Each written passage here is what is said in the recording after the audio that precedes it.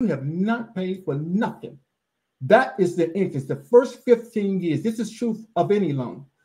You split it in half. The first half is all interest, all interest.